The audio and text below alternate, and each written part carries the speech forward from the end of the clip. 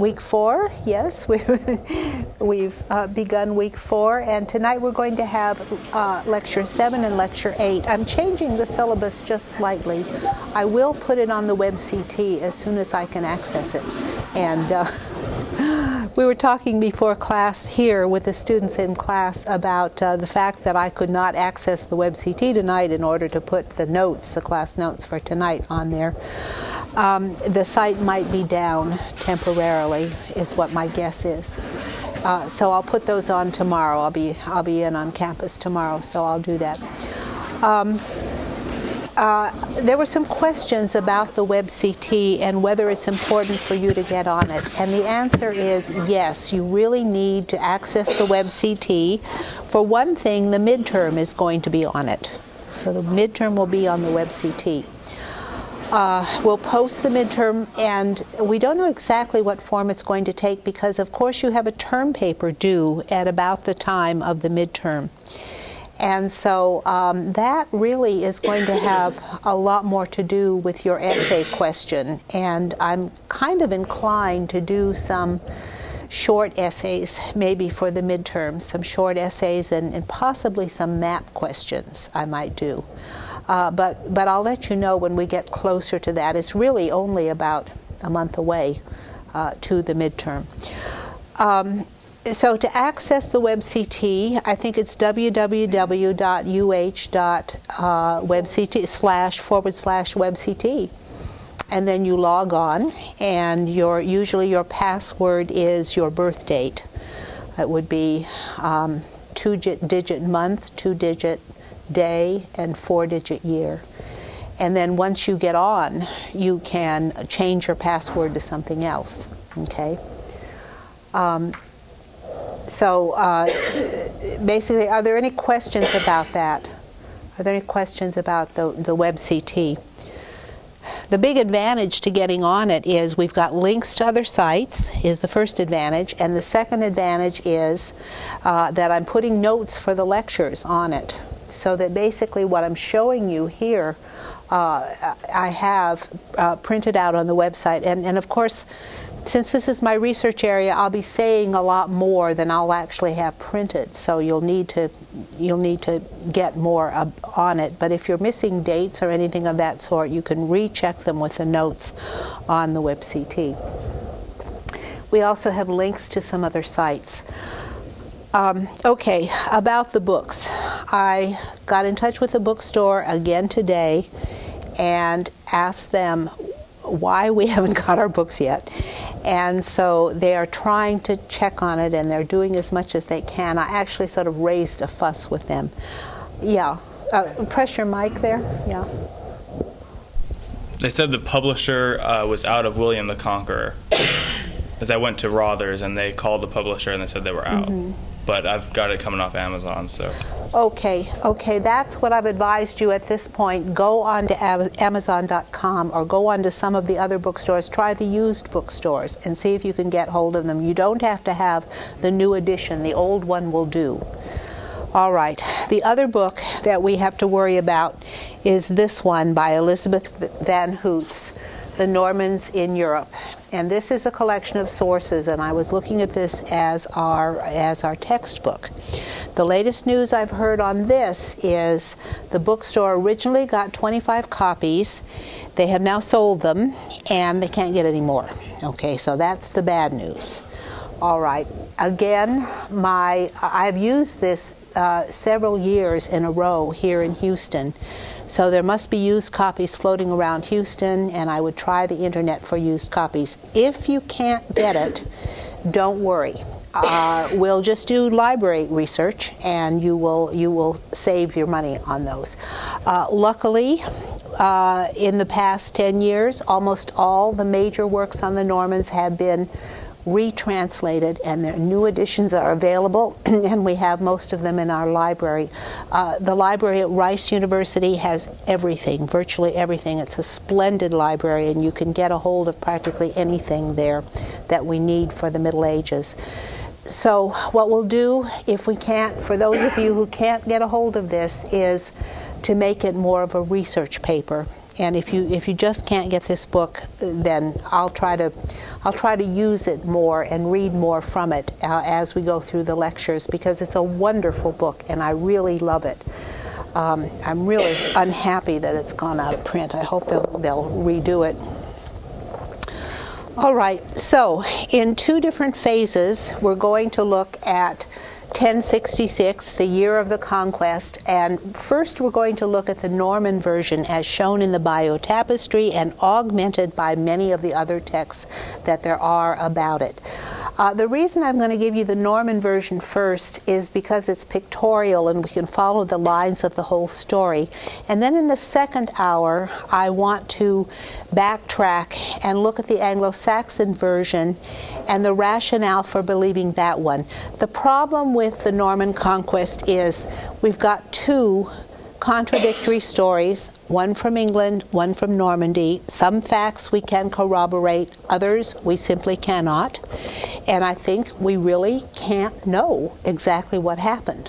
Although I'm feeling a little more certain as I went over all this material in the past three days, I've, I've changed my opinion and I've, I've come to a, a kind of different conclusion than I had when I started, um, just by reviewing it all in one in one. Um, glop here, I guess you would say. So, so I'll give you some of my insights, but you all can make up your own mind, and I'm going to try to leave time at the end for, for you all to give your um, your your opinions, and we'll discuss it a little bit. I see that we have three uh, sites um, that that we have people in. Uh, the one with four of you, that must be Sugarland, right? Fort Bend. Oh, five of you, Fort Bend. Can you hear me?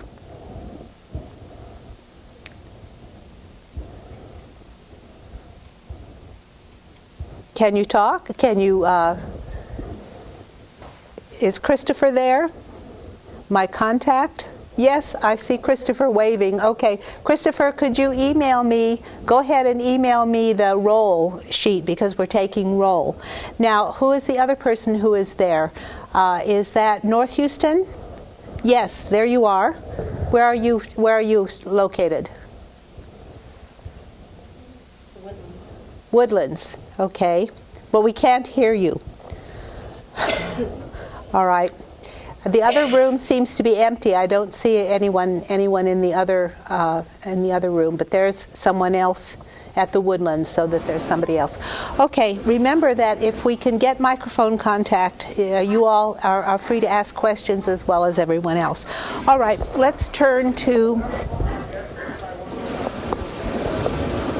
Oh, okay. Could you all try one more time at the Woodlands? Try at the Woodlands. Can you can you talk to us? Do you copy? Yes, we copy. We read you here at Houston Central. Good. We've got Excellent. we've I got just, I, I had a quick question for you. I showed up right as you were saying if you can't get a hold of this, then something because, yeah. Oh, all right. What were you talking about? I was talking about the Normans in Europe, which is the book that I have uh, that I have thought of as our textbook, and it appears that it's now out of print. Originally, there were 25 copies in the bookstore. They've all been sold. And so try to get it online or at used bookshops. If you can't, then treat your paper as more of a research paper. Um, I had originally Okay, I've got that book, good for you. but I don't have the. I, I can't get. I can't get the William the Conqueror book. Okay, that is on order again. Uh, again, try through the used uh, online places. Um, and we, we hope it's coming in. I called the library again today, and, and they're checking on it. They're going to try as, as hard as they can to get it for us. So if you can't get these books, If- we'll treat it as a research topic. Okay?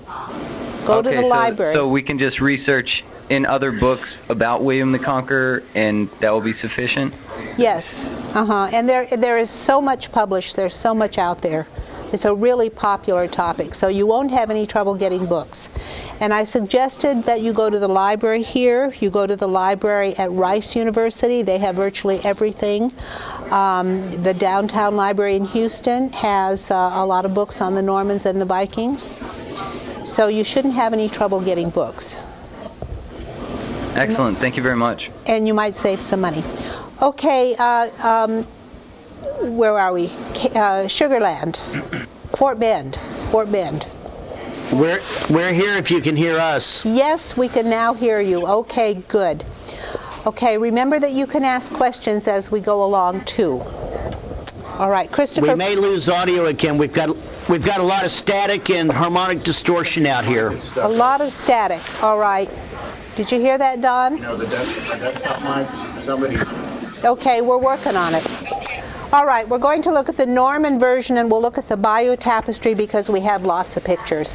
There are a lot of sources on the Norman side. There are so many written sources because the conquest caused such a stir. It was such a heroic event um, all over Europe, not just in England and in Normandy, but, but all over Europe. Everybody noticed and this, this was something that was really catching people's attention. So a lot of people in France wrote about the Norman conquest. A lot of Normans wrote about it, and a lot of Englishmen wrote about it. And so the first set of sources I'm going to go through are the um, are the French and Norman sources. And the earliest source that I could find, and I sort of went through all of these again, is uh, the Carmen de Hastingae Proelio uh, by Guy, Bishop of Amiens. And it, this is out in a new edition. This is it by Guy of Amiens, and it's been um, it's been revamped and, and rethought, and a new introduction has been written. Uh, Oxford Medieval Text has a lot of these books, and of course, England is uh, particularly conscious of, of, its own history. This is an epic poem, and it was written before 11 May 1068. So clearly, this is the earliest version. It's almost an eyewitness account written right after the Norman conquest, which was in 1066, of course. Um, Guy was not exactly a Norman. He was related to Guy of Ponthieu, and I, uh, Guy Count of Ponthieu, who was actually uh, his uncle, who lived in the um, the county of Ponthieu, which is we'll see it on a map in a moment. It's to the northeast of Normandy and very close to England. It's in the area we think of as Frisia. Remember, remember there were a lot of Vikings who settled in Frisia. Guy was related in in in his family relations to Eustace of Boulogne, who was the count of the county of Boulogne right next to Ponthieu. He was related to William the Conqueror and he was related to Edward the Confessor. So he was linked uh, through kinship to uh, many of the key actors of this play. He was a very distinguished scholar of the Abbey of uh, Saint Riquier. And he had traveled widely. He had been on a mission to Rome in 1049 and had attended the coronation of King Philip I of France in 1059. He actually died in December 1075. And as the earliest account the authors, um, the editors who have edited this, it's a poem uh, uh, about the Battle of Hastings and how the battle went and everything, but the editors believe that it's a fuller, more honest, and more reliable account than uh, the Gesta Guillelmi or the Gesta Normannorum Ducum, which we're going to talk about in a moment. And they also say that it's more explicit than the Bayeux Tapestry, so that if you were to take this book and put it side by side with the Bayeux Tapestry, you could cross check uh, the various accounts that are given. Um, and since it's the earliest account, only two years have gone by, and there hasn't been time for all the embellishment that inevitably uh, came to be done on this story of the conquest of Normandy. So, this is a wonderful account and a very early account.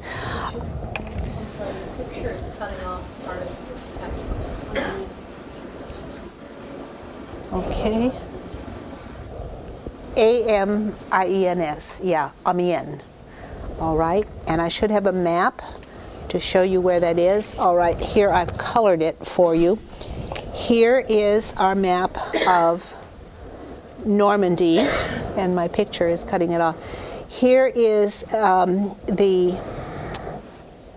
Duchy of Amiens, and here is Ponthieu, right up here. And just north of that is Boulogne. And so they're right up here in this area that is Frisia, right next to Normandy. and in fact, this is where William Longsword was killed in this area, fighting to, to really get control of, of, of that area. The Normans never succeeded in taking over that area. So that's where he was, and so he's right next to um, Normandy. He would be in a very good place to know all about it.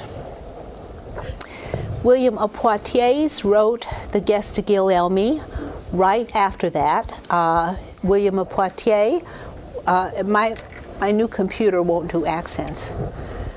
he was a Norman from Préaux, uh, born around 1020 and died after 1087. And 1087, of course, is the death date of William the Conqueror.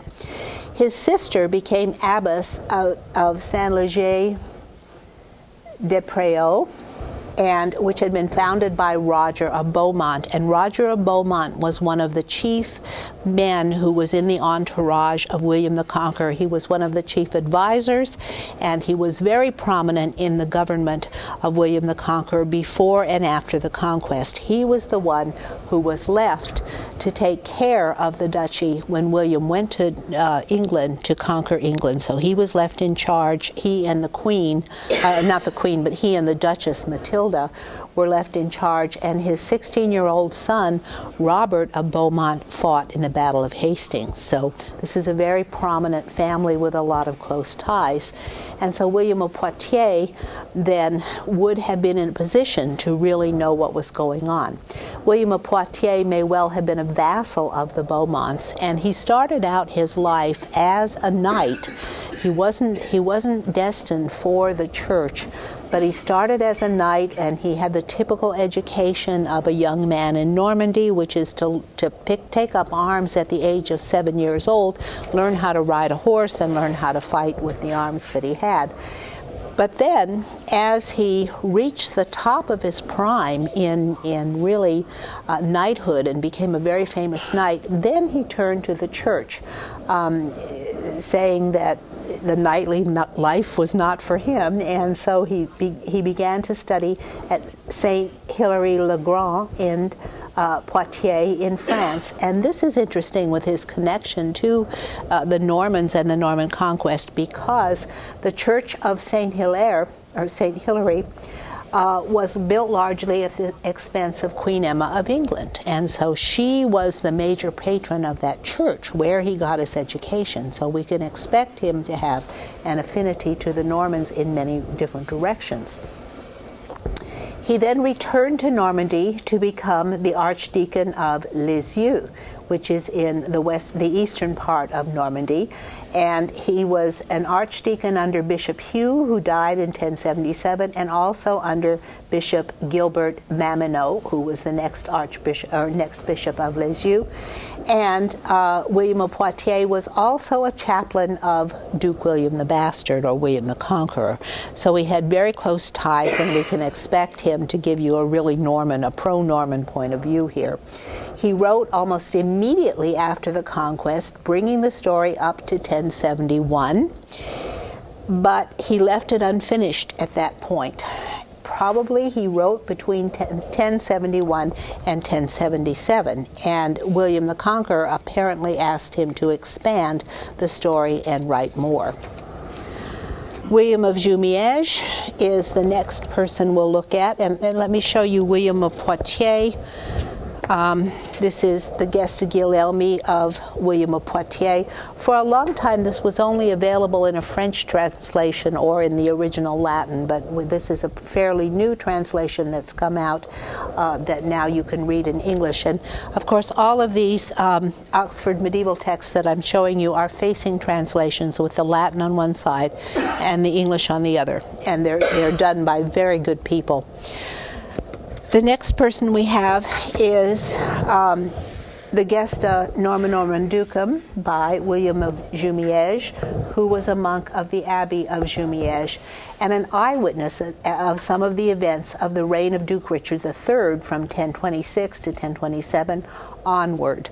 Um, William of Jumièges was born about the year uh, 1000 And Orderic, interestingly, gives his nickname as William Calculus, and and that um, has been interpreted to mean not that he did calculus, but that he calculated the sums of their income, of the income of the abbey, and took track of, of what their income was and and uh, uh, and how they spent it. Uh, he was an accountant, a CPA, or something like that. In other words, so that's why he's named William Calculus. He wrote the Gesta Norman Normannorum Ducum over about 20 years. And he started by giving a history of all the Norman dukes, going back to the first Norman dukes, based on an abbreviation of Dudo of Saint Quentin, who we've mentioned before. But Dudo is largely le- legendary. And the richness of uh, William of Jumieges' uh, Gesta Normannorum Ducum is that it's not just about the dukes, but it's also about all the leading families of Normandy. And so you can go in, and he's just obsessed with family history and who married whom and how many children did they have and who did those children marry and what did they do. And so he was really obsessed with tracing these families. And so this strikes us immediately as something that's distinctively Norman the sense of kinship and kin relationships that are so important to the Normans. Okay, and here is the Gesta Normannorum Ducum. It, it exists in two modern volumes. This is volume one. And there are interpolations by Orderic Vitalis and Robert of Torigny. Orderic Vitalis wrote a century later, and Robert of Torigny wrote even a century after that. So I find the most trustworthy thing to do is go through it and look to see what William of Jumièges says. Um, even though they're translated, they're still considered primary sources. Oh, yes, yes. I mean, I don't expect, I mean, I can't require you all to know Latin to read them in the original Latin, yeah? And this is in English, available in English.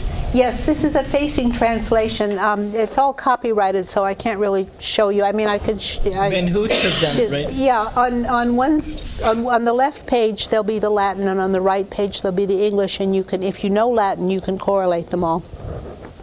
And so they're, they're, uh, it's very nice to have. Uh,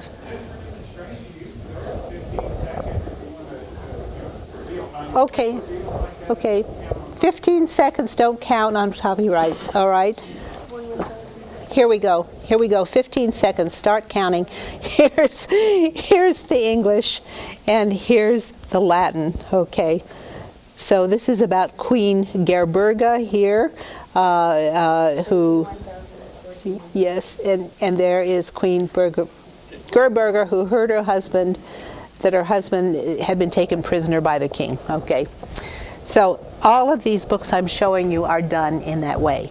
And so it, it helps a lot uh, to be able to cross check it. It helps to be able to read it fast in English and then go check the Latin if you're not sure of something and you wonder what is the original Latin.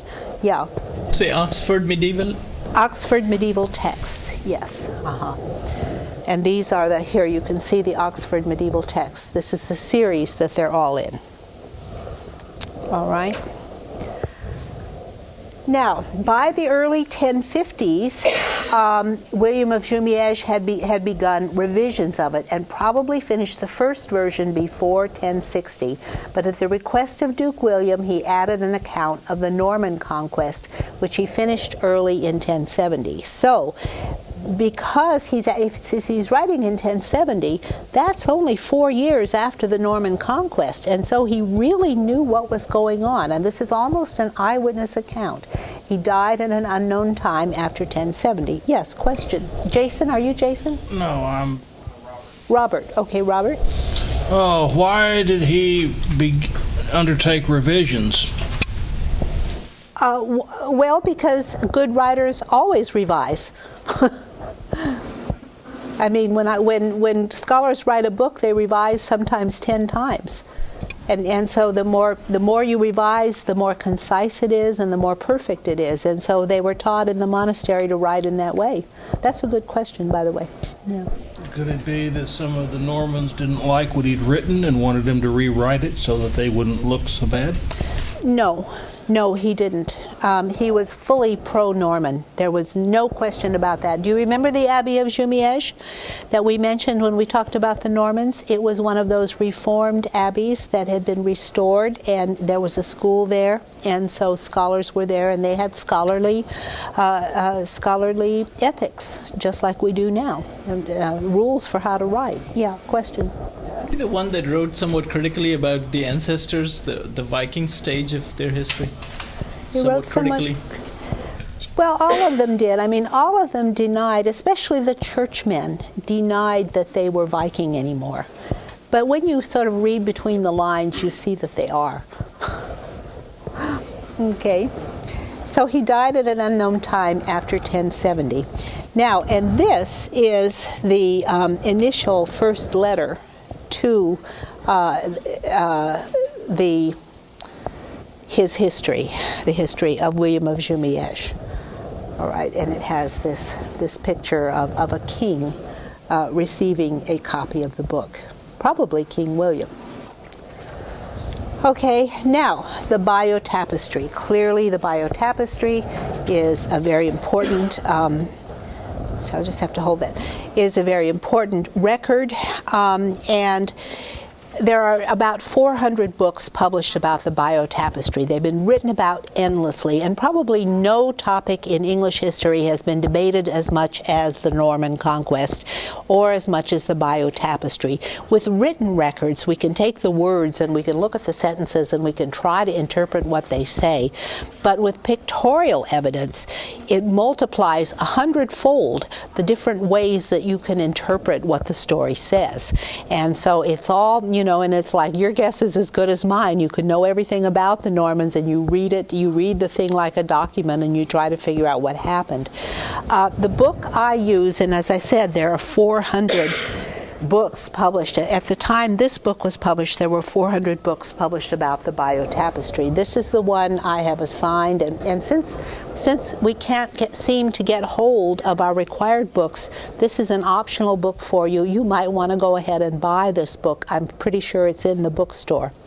It's a lovely book, and it's the entire Bayeux Tapestry in, um, in, in pictures with a text that has a scholarly argument about where, what it means and how do you interpret it. And so you can get the background on all the different interpretations of the Bayeux Tapestry, which we can't go through here, but, um, but you can see where he's coming from. And Wolfgang Grape is a is a, an extraordinarily gifted art historian who has made an extremely persuasive argument that is quite different from the arguments that have been made in the past about the Bayeux Tapestry.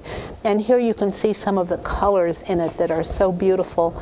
And of course, we can see um, they, they took their horses with them. This is William the Conqueror's ship that has this great Viking masthead on it, and they took their horses on the ship with them. No, they're typical Viking ships. Okay, um, he argues that the Bayeux Tapestry originated in Bayeux itself.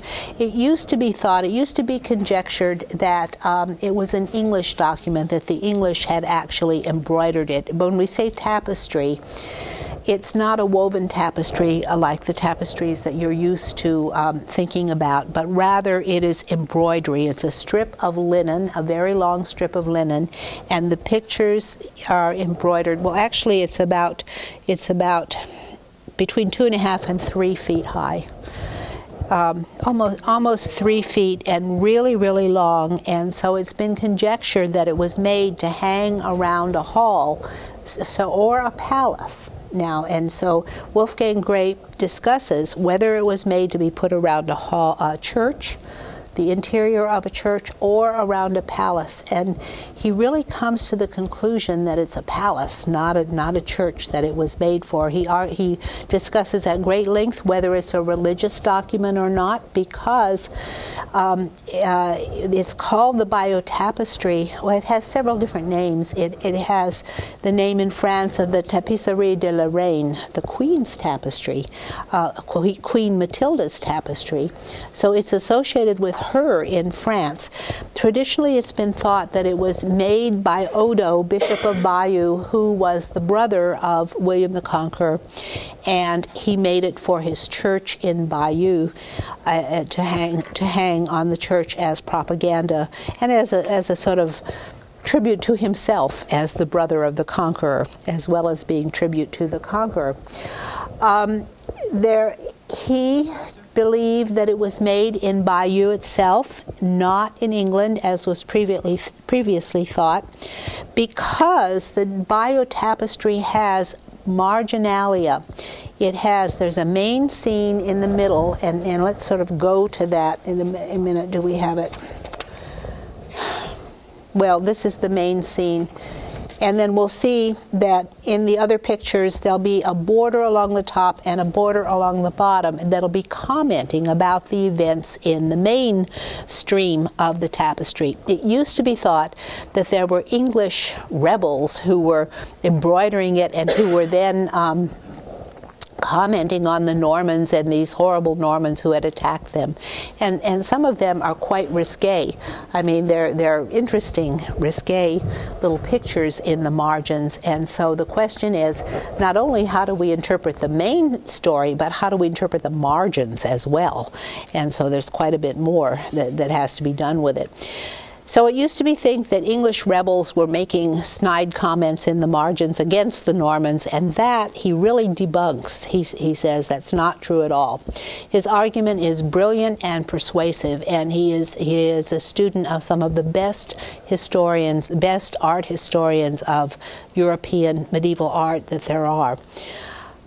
And what he argues is that what was at stake was auctoritas, the rule of the conquerors, and that the, it's a propaganda document that is meant to extol the greatness and the rightness of the Norman conquest.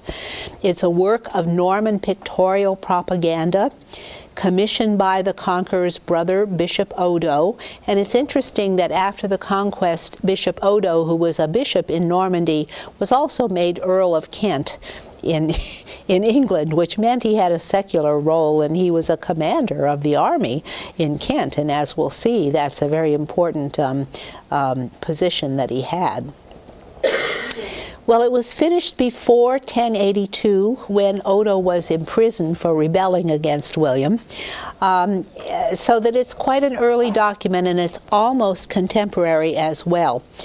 Uh, one thing about it that we can notice is it's a piece of cloth that is portable. And it, once you have this long strip of cloth, not only uh, uh, is it more more enduring than other forms of art, but it's also portable. You can roll it up and you can take it from place to place. And this is essentially what he was arguing was that it was a portable triumphal monument and that the Normans would roll it up and then they would take it to different cities and display it, whether in England or Normandy, and show pictorially the exciting uh, events of the Norman conquest and the rationale behind them all. Yeah, comment. Um, I've heard that during the French Revolution, they took it out of, I guess, wherever it was, the Louvre or, mm-hmm. or where have you, mm-hmm. and they were going to cut it up and use it to decorate the bottoms of their floats in the parade, and they wound up just wrapping it around this one float many, many, many times, as opposed to actually cutting it up.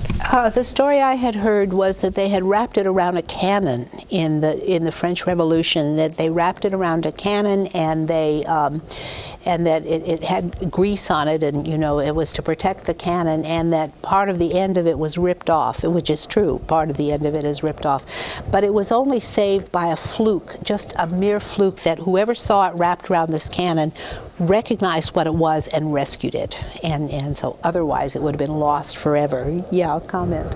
Are there other examples of this uh, used by other dynasties of this type of propaganda work? Excellent question. Yes. Last week, and I meant to dig that picture out, but last week I showed you a tapestry that came from the Oseberg ship in Norway. And there was a tapestry that is very, very reminiscent of the Bayeux tapestry. It has horses in it, it has wagons, it has very many of the same features that we see in the Bayeux tapestry. I'll try to remember to bring it next week again and show it to you again Oseberg, O S E. Here, I'll write that down for you. okay. Oseberg ship burial. It's, it's a ship burial of a queen in, in Norway. Yeah, question. Actually, I have two. Uh, Okay. The first is, I don't, I don't know what you mean by propaganda. To me, when you say propaganda, it kind of has the connotation of misleading a public for political gain. And so I, don't, I don't know if you, well, I don't know if you mean to say that the tapestry was a lie or not. And that, that's the first question. And the second question is, without kind of a, a continuous propaganda machine, I guess is what you would need. How how effective was the propaganda, given that they're just traveling from town to town, showing them this tapestry and moving on? It was very effective. It was propaganda, first of all. Uh, uh, propaganda doesn't have to be a total lie. In order, most and, and, and really, most propaganda has a, a germ of truth to it. but pressure mic. um, most of it is based with a kernel of truth surrounded by you know the rest of it being aligned. That's what makes it so believable. It's like well this part is true. Why isn't the rest you know why shouldn't the rest be Sure, it's what we call spin. Yeah. And we're hearing a lot of it now from the political campaigns that we're listening to. Yeah, the, the, you, we have the same set of facts, and one, one group gives it this twist, and the other group gives it this other twi- twist, and that's exactly what the Normans are doing. I guess propaganda is definitely part of selling yourself and, and marketing in terms of political machinery. Yes, absolutely, and that's what the Normans did. And they had to use this. Uh, actually, Judith Brown gave a wonderful paper at the Haskins Society two years ago in which she argued that it was taken around England and displayed to the English to sell them on the conquest, to say, here we are, look how wonderful we are, we've We've conquered you, and now we're going to rule you. Hearts and minds yes and so um, and and so she argued it was taken around England but equally I think it was also taken around Normandy because um, because of course he, they would want the people back home to know of the heroic exploits of conquering England and of course once the Normans conquered England England was the richest country in all of Europe and just tons of wealth poured back into Normandy. Normandy became instantly, um, instant, instantly nouveau riche in, in terms of all the uh, areas of Europe, and so um, it, it made a very big impact on the Normans at home as well as on the English, and so and so this propaganda would have uses for all of them, and I'm sure that it was very carefully prepared and very carefully used um, for these propagandistic things. Why put it up in the palace in Bayeux and make everyone travel to it? You can just roll it up and take it wherever you want to to display it, just like we do art displays in this country now, from one museum to another.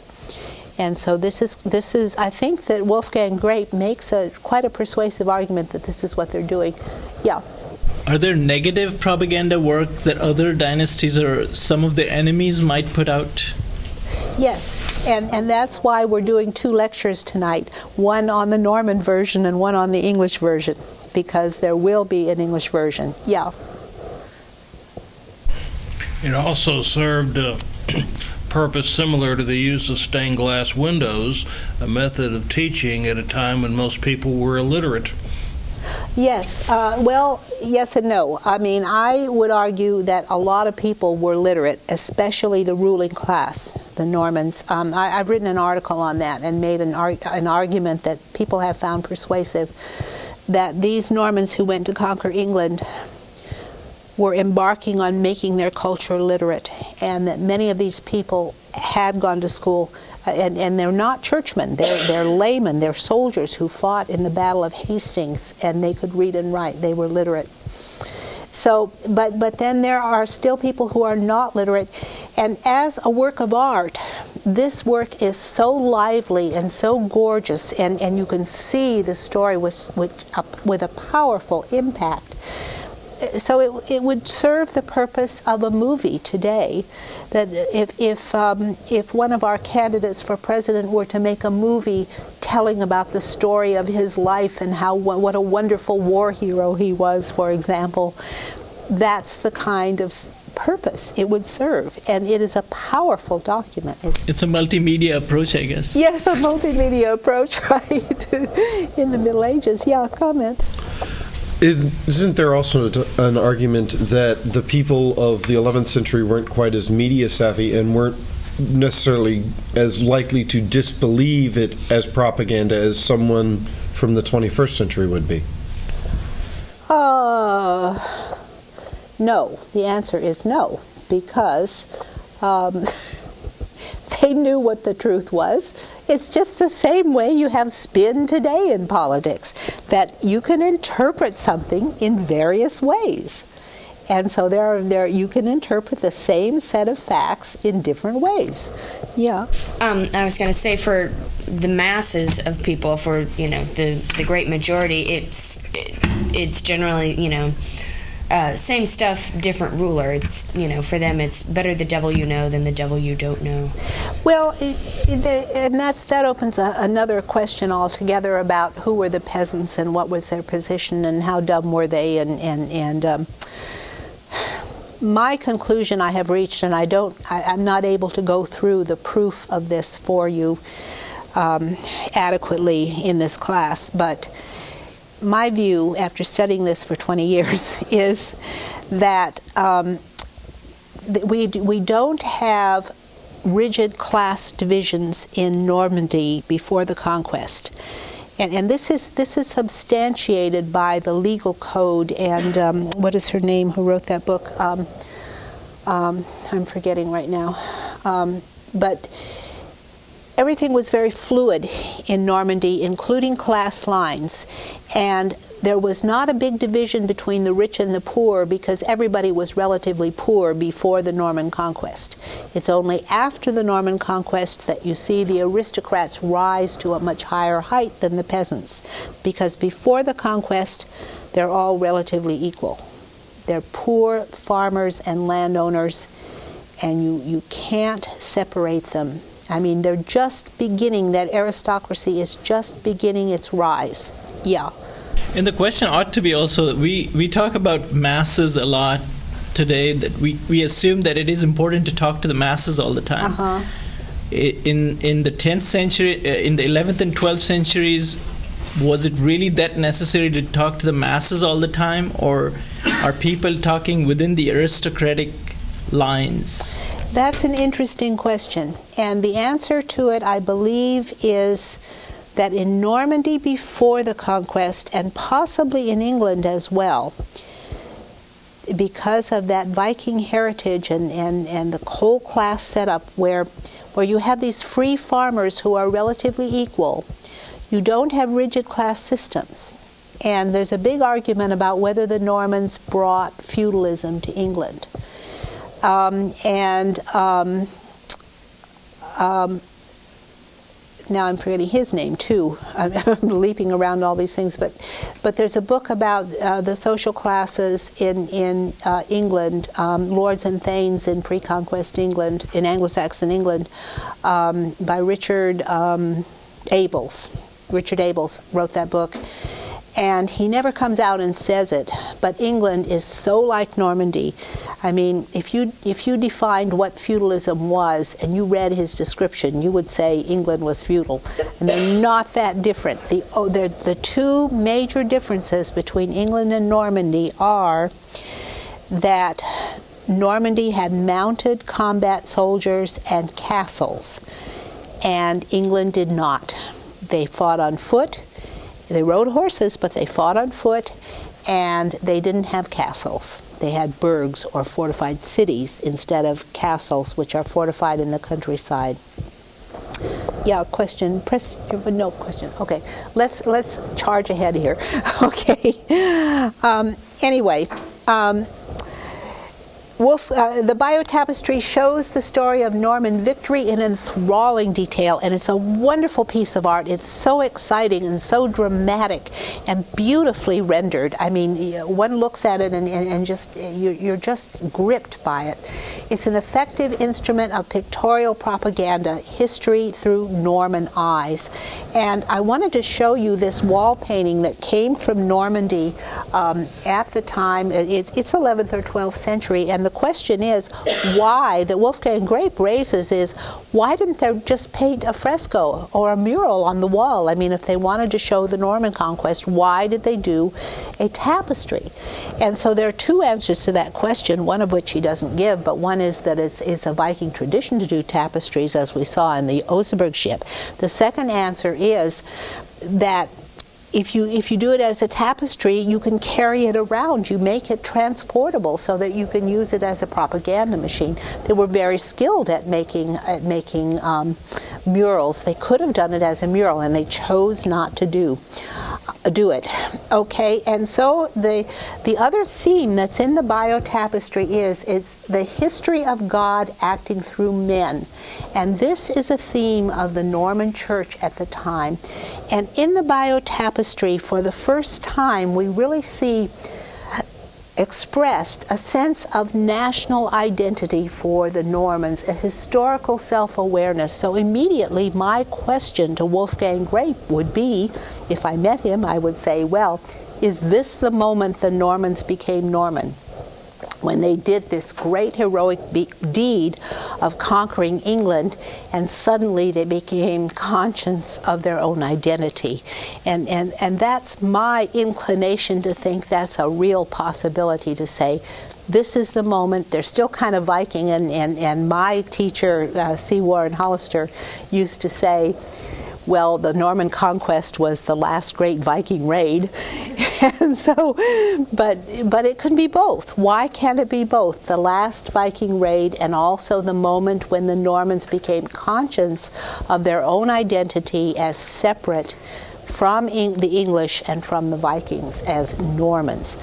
And here is um, Bishop Robert, who is, uh, here is William, Duke William, and here is Bishop Robert, uh, uh, Bishop Odo, who is his brother and um, and this is Robert. I think this is Robert of Montgomery who is who's portrayed here. And so here they are, the two brothers, uh, the heroes of the Bayeux Tapestry.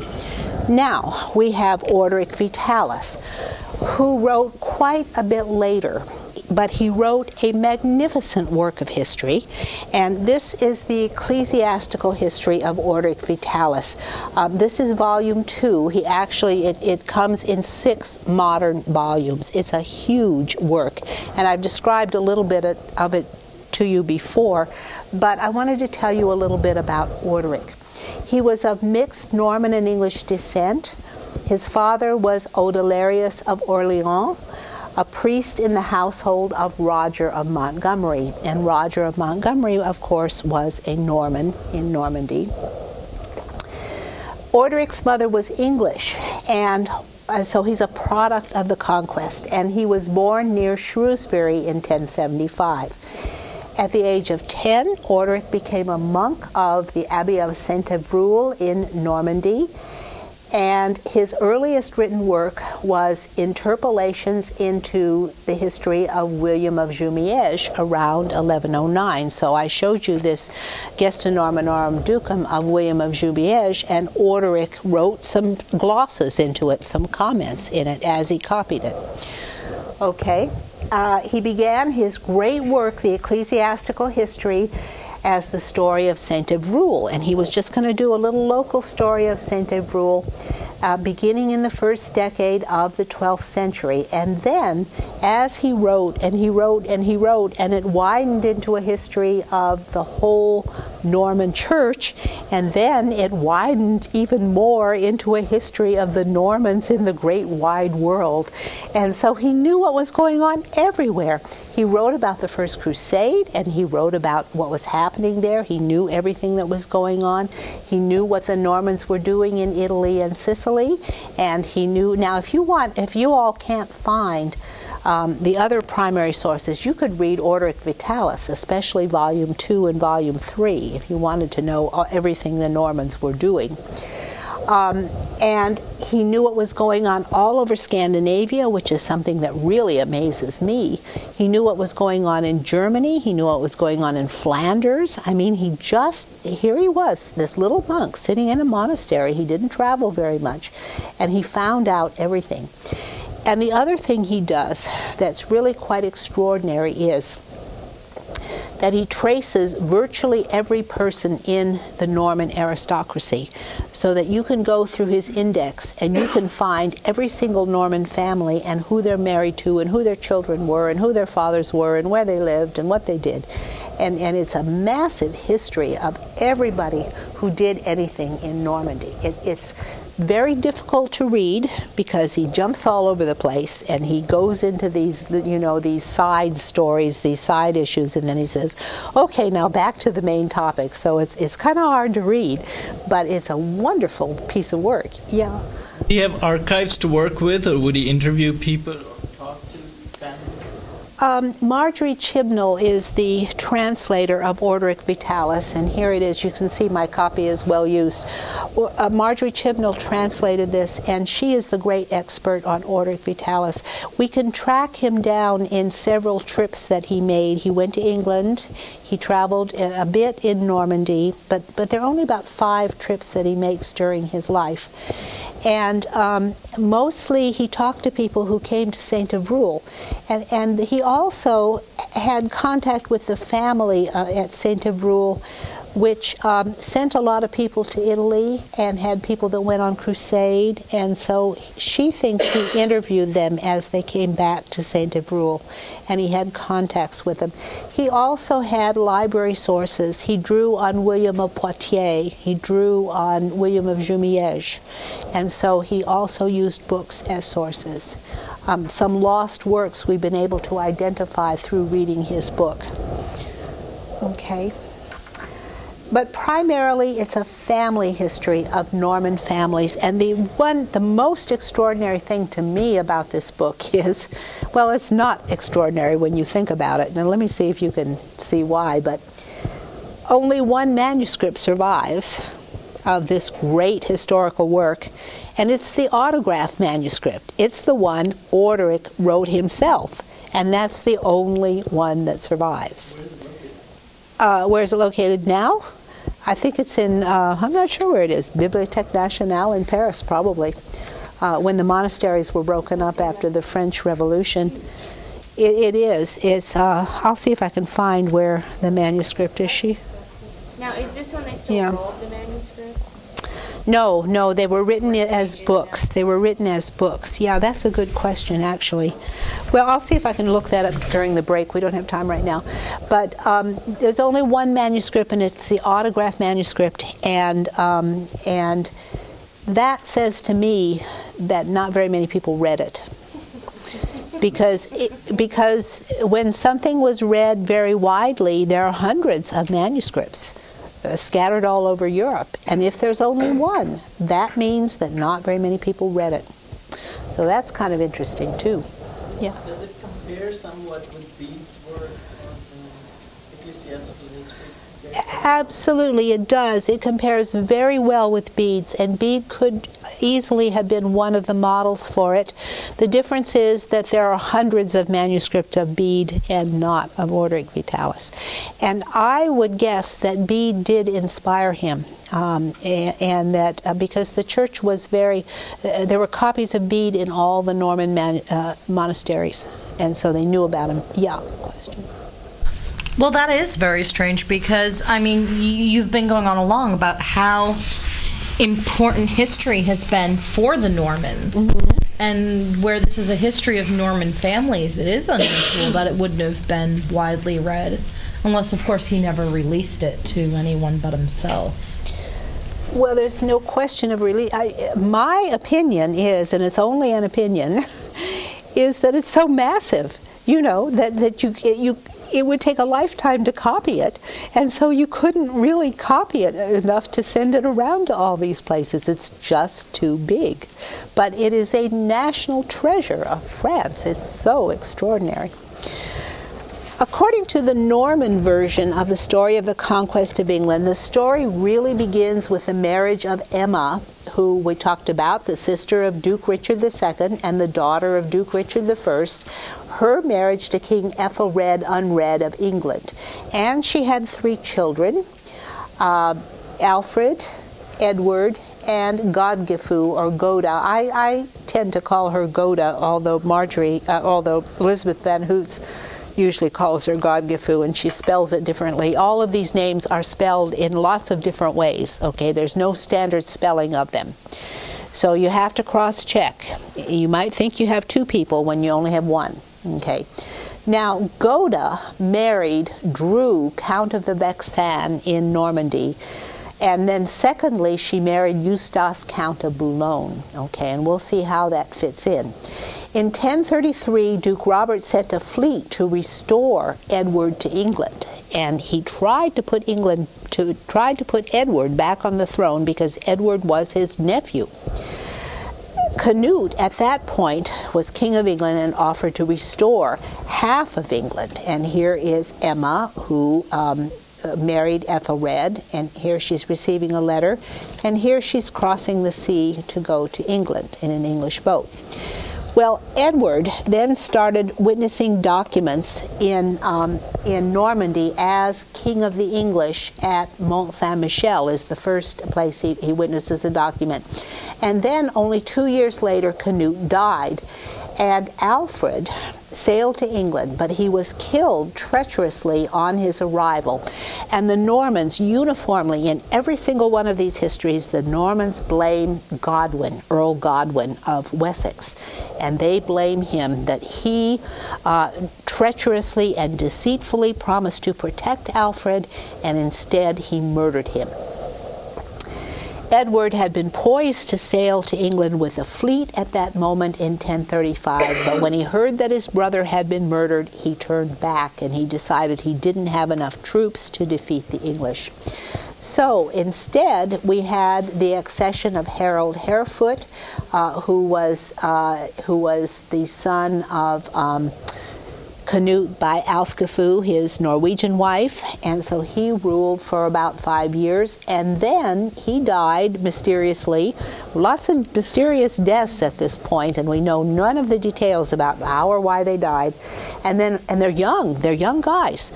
Harthacnut then uh, uh, left Norway. He had been king of Norway, and he came and became king of England in 1040 to 1042.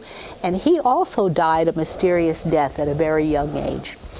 At this point, Emma and Earl Godwin joined forces to install Edward as king, and they had worked together to really bring Harthacnut there.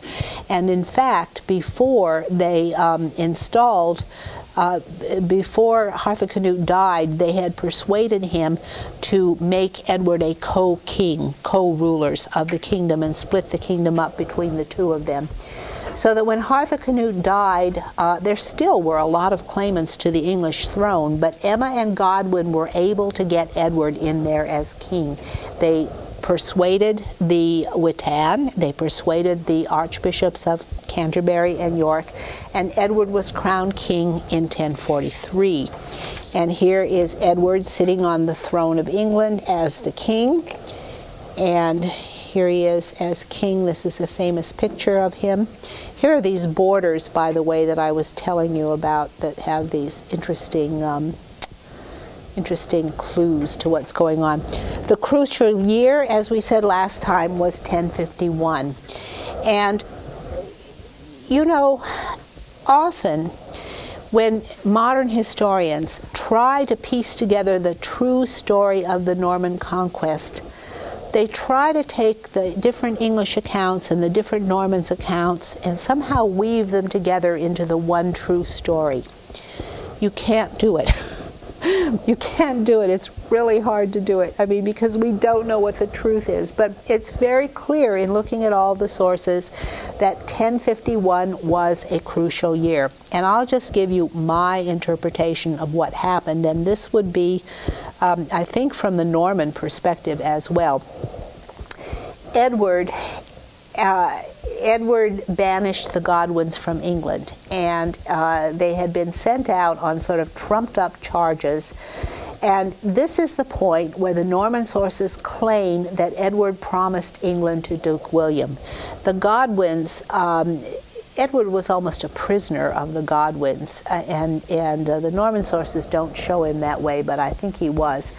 Uh, he had a few Normans with him in England, and at this point he made Robert of Jumièges uh, the Archbishop of Canterbury. Robert of Jumièges had been the Bishop of London. And at this point, this important marriage was made between Eustace, Count of Boulogne, and Goda, the sister of uh, uh, Edward the Confessor. In that very same year, William married Matilda of Flanders, and that was a smart move because then the counts of Flanders would be his allies, and this argues for the truth of this matter that Edward had named William as his heir, and William was now preparing to um, uh, fortify himself with allies in Flanders by marrying the daughter of the Count of Flanders. But now the church throws a monkey wrench into it. Just at that point in 1051, there was a new pope in Rome, and this new pope was Leo IX.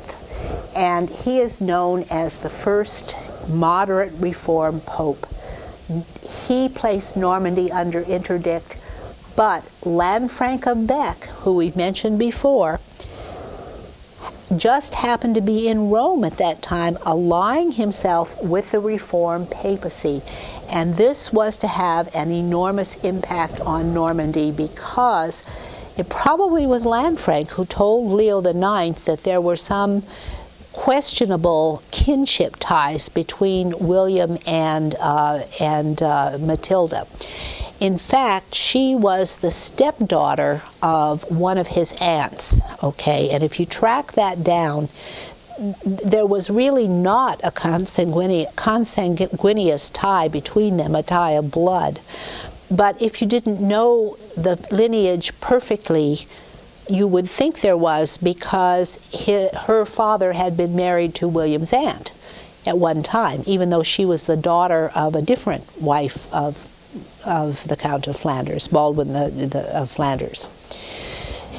So I think it was a mistake that Lanfranc made. Nevertheless, it uh, had a huge impact on the church because interdict means that you can't have any church services in Normandy. And so this had an impact. The following year, the Godwins returned uh, to Normandy, to, to England, and what they did was come back with an army. And they had an army. They actually uh, uh, invested all the sea towns, the, the, the, coastal towns of England. And uh, Edward the Confessor knew that he was beaten without a battle. I mean, he didn't even bother to fight because clearly they had the upper hand. And so the Godwins then came back and took over everything. Archbishop Robert was banished to Normandy, and the Normans uh, uh, claimed in, instead, from their point of view, they claimed that Edward sent him to Normandy to tell William that William was going to be the heir to England. Okay, so they they twisted the facts in the stories. Um, but it looks to me like what's happening in England is the Godwins come in with a with an iron fist and they've got Edward where they want him and they make him do what they want. Um, when Archbishop Robert was banished to Normandy, uh, this meant that there was no Archbishop of Canterbury. I mean, because the rule of the church is if you're an archbishop, you're archbishop for life. You can never be deposed, you can never step down. You're archbishop for life. And the Archbishop of Canterbury is the head of the English church, the most important churchman in England. Now, they banished him and sent him to England, and then the Godwins put their own man in as archbishop. This would be Stigand, a Viking, who was consecrated Archbishop of Canterbury. Now, what do you think the church is going to say about that, especially Leo IX in Rome? What's the opinion going to be? This is illegal. Stigand is not really the Archbishop of Canterbury he's making a false claim. He is a falsifier. And this is a heinous crime. The Normans claim that this is illegal and they make a big deal of this religious causation that here are these horrible Anglo Saxons who don't even know how the Reformed Church works and they've got an illegal archbishop as the head of the English Church. Clearly, blasphemy is going on in England, and this is anti Christian. They're not any good. So, this is the Norman propaganda about Stigand. Now, Lanfranc of Bec uses this political situation, and he was a master politician. He used the political situation. Now, William was kind of desperate. He had already married Matilda in 1051, and he wanted her as his, I mean, she was his wife. She, he had legally married her. And so, how was he going to square things with the church? Well, Lanfranc came in and said, okay, you have done something wrong, which is to marry without the permission of the church, and so your penance will be that you will build two huge and very rich ducal monasteries and endow them with, with tons of wealth. And you will build them in, um, uh, in the new city of Caen, one for men and one for women. And once you do this penance, then the Pope will forgive you and allow you to be married. Okay, so William built, began to build the twin abbeys at Caen, and they were actually completed in 1063. Uh, the two abbeys are La Trinité for women and Saint Etienne for men. And then Lanfranc became the abbot of Saint Etienne. He had not been abbot of Bec, he was prior of Bec. And here are these abbeys, here are drawings of them. This is La Trinité for women, and actually one of William the Conqueror's um, daughters became the abbess of La Trinité. And here is Saint Etienne, uh, the abbey for men, and Lanfranc became the um, the abbot. And this is the first monumental architecture built in Normandy. It's, these are magnificent churches, very huge. Okay, now we're going to look at the Bayeux Tapestry, and we only have 10 minutes, so we're not going to get through with the whole thing, but we're going to have a look at it and get as far as we can, and we'll continue after the break. Okay, the first things I'm going to show you is I'm going to show you a map of England under Edward the Confessor and then the story of the Bayeux Tapestry as it progresses and tell the, tells the story. According to the Norman version, in 1063, King Edward sent Earl, Har- uh, sent Earl Harold Godwinson to inform William that William will succeed to the throne of England. Harold started out for the coast, preceded by his pack of hounds, and then we have a picture of Harold going on board. But winds force his ships aground on land belonging to Count Guy of Ponthieu. Okay, so here we have the map of England showing actually um, Godwin at this time is Earl of Essex and also of Kent and of Mercia, so he's a very powerful earl in England. And here is Edward sending Harold to Normandy, and here is Harold setting out to go to Normandy to tell uh, to tell William. Doesn't that sound suspicious? To tell William that he's going to be the heir. And here's Harold and his men going to Bosham with their hounds, and then they're going to get in their ship and sail to Ponthieu. Now remember where Ponthieu is. It is um, right here in this area, right in here. Okay, and so he was he went to Bosham, he's blown off course, and he lands in Ponthieu. When he gets to Ponthieu, which is not in Normandy, the Count of Ponthieu takes him captive, and here's our map of Ponthieu right over here. Uh, okay, let me go back. There is Ponthieu, Guy of Ponthieu. Okay, is the Count of Ponthieu. No, it's not in Brittany. It's in Flanders, yeah. Not quite in Flanders. It's, it's between Normandy and Flanders. Frisia. It's in the disputed territory. Frisia is where it is. Yeah. Okay, so here he is. Now, then in the next scene, the English are landing, and the Count of Ponthieu takes Harold prisoner because he's not a Norman. So he takes, and, and, and so he's going to hold him for ransom because this is how battles are really fought in Normandy at this time and in, in Europe. Uh, that you don't you don't want to kill somebody, you want to hold them for ransom and, and get money. Okay, informed of Harold's predicament, William sends messengers to Guy with orders to release Harold, and with their hair flying in the wind, two armored horsemen hurry to Beaurain in Ponthieu. Harold is set free, and Guy hands him over to William and his men. So here is Guy of Ponthieu riding to take Harold to William. And notice the little marginal marginalia. We've got hunting dogs to remind us of the dogs that that um, uh, um, Harold had brought with him. Okay. Uh, and here is Guy of Ponthieu delivering Harold to Duke William. Okay, he's pointing to Harold. Here he is, you can have him, and here's Duke William. All right. Then, then they go to William's palace, and there are negotiations between William and Harold. Uh, then Harold goes on an adventure with Duke William, and they go to um, the other side of Normandy, and they go uh, they cross. Uh, they go to Mont Saint Michel, and then they go to the city of Dol in Brittany, and they attack the city of Dol and conquer it. The Norman army marches into Dol, and Duke Conan is forced to flee. Duke Conan of Brittany surrenders and hands over the keys of the city on the tip of his lance. Okay, and here is Duke William receiving Harold at his palace and taking him as as a comrade in arms, and then they're going to go off on an adventure.